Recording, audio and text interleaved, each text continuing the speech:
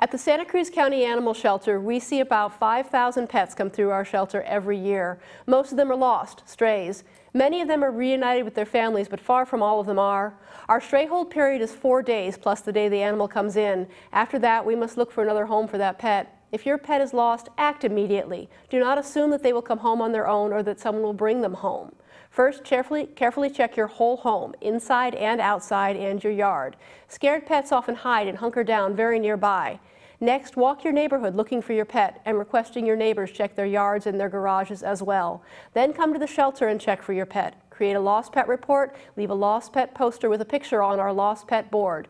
We post pictures online of all found pets in the care of the shelter and record a found pet message nightly. But visiting the shelter every day or two is safest. Post an ad on Craigslist, flyers in your neighborhood, visit local vet clinics, and let your postal worker know your pet is missing.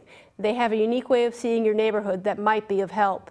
Be proactive. Make sure your pets have proper, current, legible identification. For cats and dogs, that includes microchip ID and an ID tag with contact information on their collars.